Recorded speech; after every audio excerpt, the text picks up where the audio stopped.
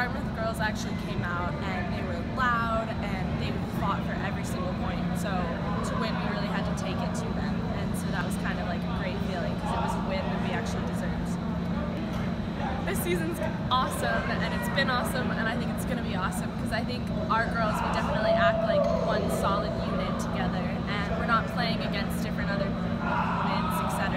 We're definitely playing for each other, so it's awesome moving forward, playing alongside some of your best friends like on campus and yeah, you're not playing for you, you're playing for them. So it